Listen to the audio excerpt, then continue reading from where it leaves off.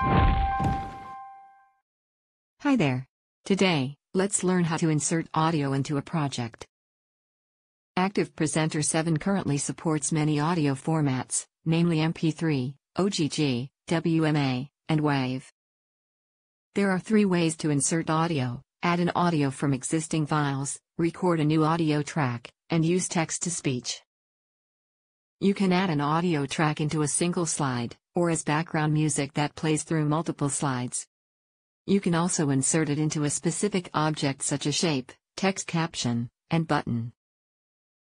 To insert audio, open the Annotations tab and click Audio. There are two options here, one is to insert audio from existing files, and one is to create new audio. Let's start with the first way. Click from File, and browse to the audio file you want to add, select it, and click Open.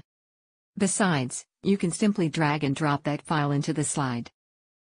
Then, you see an audio icon on the canvas, and the time bar of that audio in the timeline pane. You are free to edit the inserted audio file, cut, copy, delete, crop, insert freeze frames, split or join, speed up or slow down, and change volume. More interestingly, you can reduce noise, fade in, and fade out the audio. You can find video tutorials for those features on our channel. Now comes recording a new audio file.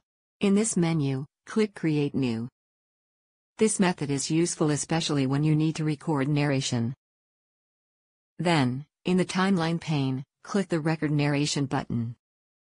Or, in the Audio section of the Properties pane, click the Record button. However, before recording, you should define some options. Select a device from the input device list, change the recording volume. This button is to stop recording. Click here to set the audio recording devices to the appropriate level before recording. We will discuss this feature in the video, Calibrating Audio Input. Once you're done with recording audio, your recording will appear in the source box. The third way to insert audio is use text to speech, that allows you to convert closed captions to speech, or generate audio from text.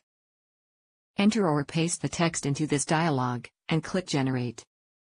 Then, you will see a time bar of the generated audio file in the timeline pane. As you can see here, Active Presenter provides playback options to control how the audio is played.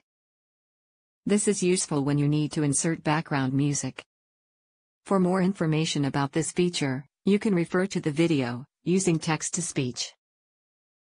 Note that Active Presenter allows you to attach audio to objects. For that to happen, select the object, go to the Audio section, and do the same steps as above. If the object duration is shorter than the recorded audio duration, Active Presenter will display a dialog to ask whether you want to extend the object duration to fit the duration of the generated audio or not. After inserting audio files, you can still replace or remove them. To change the inserted audio, first, select the audio icon on the slide. Then, in the Audio section of the Properties pane, insert New Audio. When finished, the newly added audio replaces the old one. Besides, to remove audio, select the audio icon on the canvas, or select its time bar in the timeline pane, and press Delete. When it comes to the audio of an object, to remove the audio, select the object, go to the Audio section, and click Remove. Now you've known how to insert an audio in Active Presenter. Thank you for watching.